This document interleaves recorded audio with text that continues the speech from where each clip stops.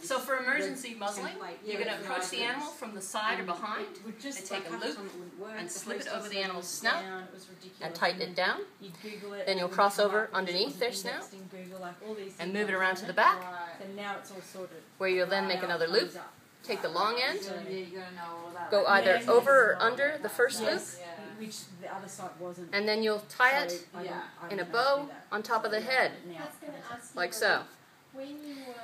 This helps if you uh, need to how did you undo the muzzle immediately because they're vomiting or that's seizuring. You need to get the muzzle off fast. You just untie the bow and slip it off. Did you, did you have like a big garden? So that's how- emergency Yes. muzzling. Yeah, so we had this, we've got, I'm still